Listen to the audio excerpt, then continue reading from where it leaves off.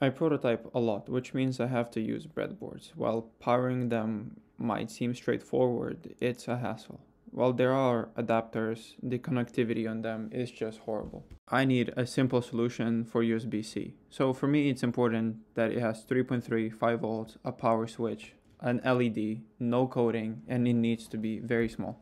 I called it BreadBoost C or BBC for short.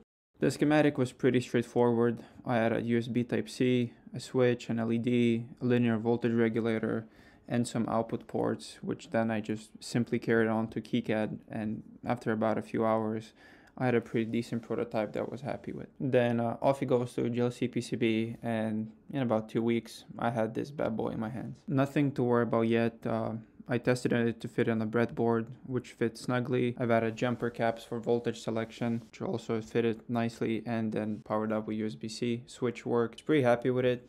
It did output 3.3 and 5 volts at the same time. However, it did have a bunch of issues. So the switch broke during shipping. I don't like the linear voltage regulator and the layout is pretty poor. First, I updated the linear voltage regulator for a DC-DC buck converter. And for the layout, I pretty much consulted Reddit and with the help of the community, I achieved a pretty decent ground return path layout with big enough copper ports to handle 1 amp, broke out the USB data pins after a few other minor tweaks, I had this prototype ready, which then had to be shipped off to JLC PCB. And again, in about a week, I had the next prototype in my hands. I'm lazy, so I got it fully assembled. However, I'm super happy the way it turned out. Everything looked amazing. Everything was soldered on nicely.